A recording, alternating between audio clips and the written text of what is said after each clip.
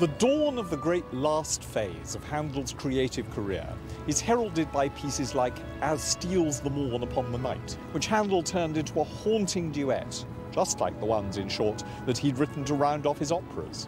The operas which had been his first love, and which he never really let go, and which never really let go of him.